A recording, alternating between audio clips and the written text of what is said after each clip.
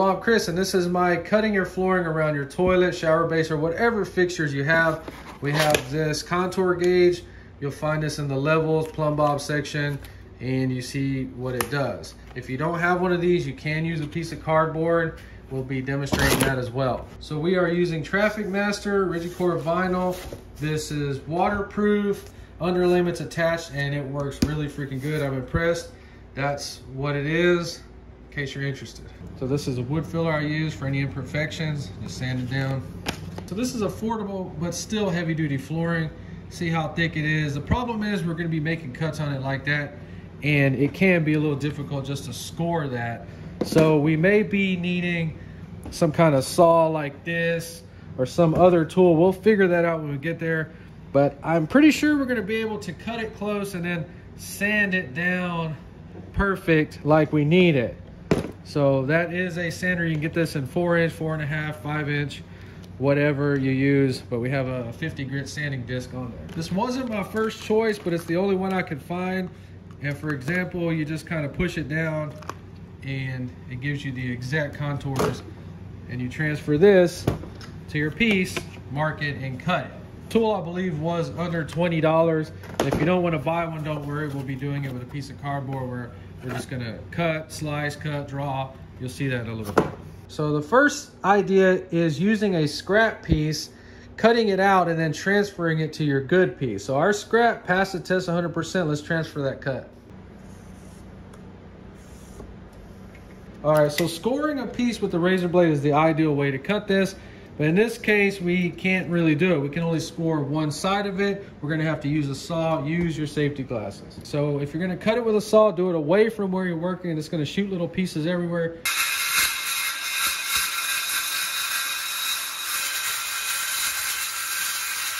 See those little pieces that got flung everywhere?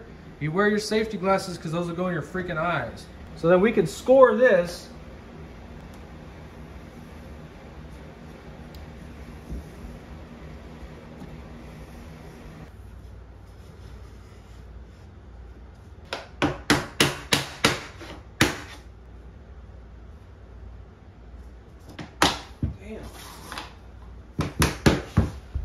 got that piece notched out perfect. Always have a piece of your trim right here and check your gaps.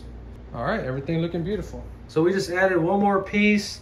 Now we're up to our first contour cut. We found a scrap that's just the right length. So we're just coming in square, slowly putting pressure. Okay, so if it's your very first one, we're gonna go ahead and do a practice cut before we try to get the length right. So let's go get this cut. Okay, be super careful when you cut this at an angle. You can slip and cut your hands. Let's try to score this piece and see if that works.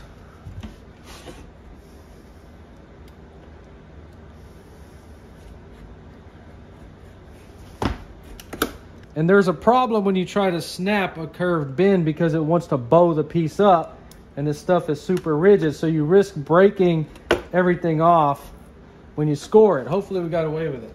Trying to snap on a curve, we actually damaged the piece more than we really wanted to. It pulled up a lot of extra. Let's see what really happened. Might still be good. Okay, so trying to score a curve cut is not a good idea, but we did not damage it. Let's go check out our fitment. I mean, it looks okay from right here, but it's actually not good enough. Okay, so we take our Sharpie, kind of mark where we need to trim it a little bit.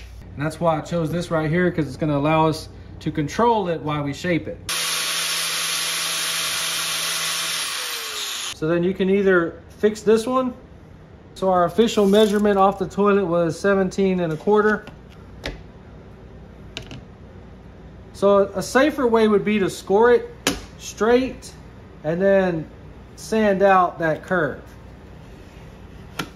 Much safer like this.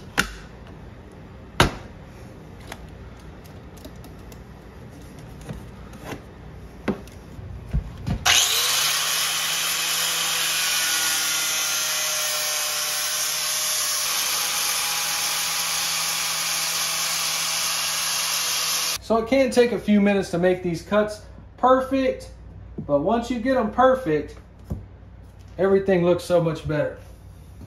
Okay, so we got the gauge on there already. We're gonna have to use a full piece and notch it out for right there. Let's check this out. And just keep in mind, it's gonna mirror the shape on the other side in case you have to set this down for a weird cut. The only thing that's difficult about using this is there's no way to really square it. So you just have to eyeball it.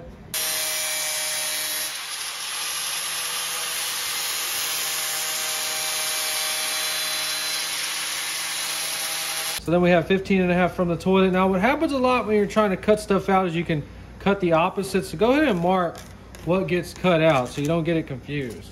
And then this little piece right here is just one inch. So you can get these for about $5, framing square. Mark that, remember we're cutting that out. We're just using this for a straight edge. Okay, so our cut is gonna leave us with this long, delicate piece. It's best to make this entire cut with a saw.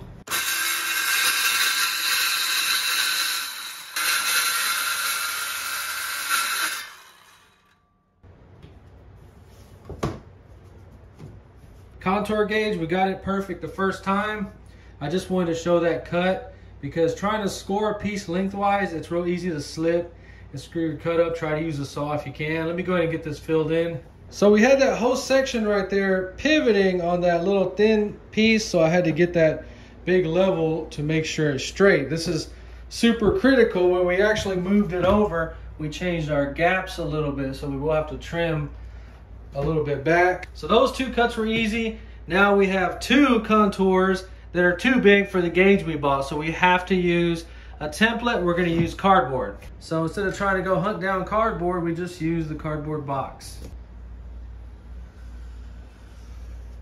All right, take your time on this. Do not rush through this, man. Take your freaking time. All right, now we got it. So what we want to do is go ahead and move our template over right here where it fits there and then trim that last. So let's go get this cut.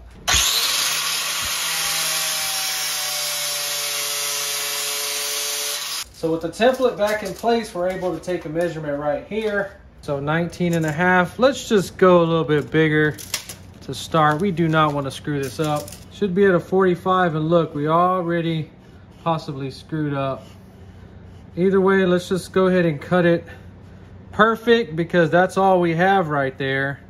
Well, maybe a little bit less. And we possibly have ruined this piece. So you see we still have some fitting to do. I should have cut that at a perfect 45. Let me go ahead and get this fitted. We'll see if it works or not. So how the floor is pivoting on that little section, we're trying to add layers to straighten it up. I think we have it straight as we're gonna get it. Now our gaps are touching the toilet. We are gonna have to take all this back out and make those gaps bigger. Same thing right here. We got lucky they were exactly 45s with the speed square and we're gonna have to trim all that back. So in case this is the only video you're watching, let's do the flip trick and score it to get the measurement on this piece. It's gonna stick in there like that so we flip it around do not ever butt it up against the wall. Give it about a quarter inch. Mark it. Okay, so to score the piece, I use a speed square. Just get it right there on the mark. You're not trying to force it down. That can be dangerous. Just do a lot of little scratches like that. And progressively push down a little bit as it cuts into the flooring. Okay, and it just snaps.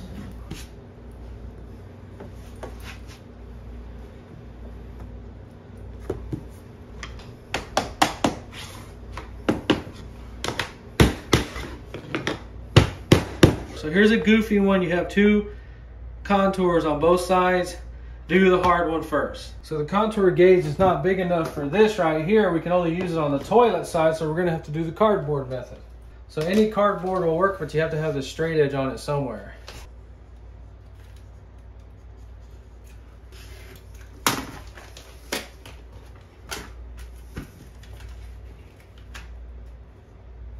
And in less than five minutes, I have it cut out and ready. Let's test this fit.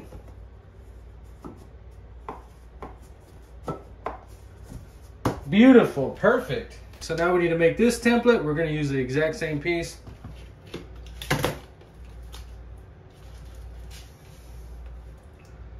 So this comes down about three and a half. We have 19 and a quarter. All right, so that means this has to be about three and a half.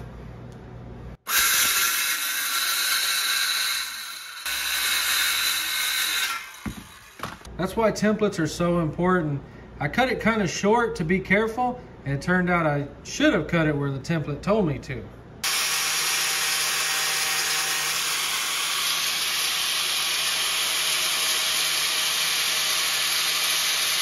So after a few minutes, we got our cut.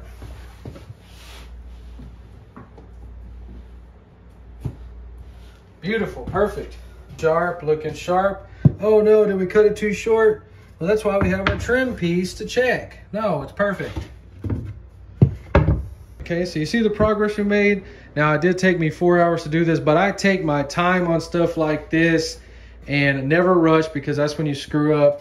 I did not waste any flooring. Everything worked out 100%. Now, as soon as we get those back pieces in there, we're gonna take this out again. But before we do that, we're gonna mark any gaps that need to be extended. And we're gonna try to give it just about an eighth inch of a gap around everything. You see how you still have to make that a little bit bigger. You have to have that gap in there because your floor will do crazy things. It could buckle, it could move out and cause a little groove like that. So when you're going around multiple things like that, you have to give it the clearance. Only eighth inch around toilets. It says a quarter inch, but we got quarter inch gaps and bigger around everything else. That gap looks too big right there. Well, that's why we have our trim. And you see it covers everything. Beautiful. So everything's looking good in here. Remember, you got to give it a gap all the way around. Do not butt flooring up against any hard fixtures like that. It will buckle, separate, and go crazy. In a bathroom and kitchen, you have to use waterproof flooring, not water resistant. Do not ever use paper laminate flooring even the manufactured wood, real wood floors that snaps together like this, that stuff is not waterproof. I've seen it already buckle up and it looks horrible. High dollar fail. Get you waterproof flooring like this and you will be happy like I am. Future videos on this bathroom coming together. It's a small one, but it's gonna be a beautiful one. If you enjoyed this video, please like and subscribe and thanks for watching.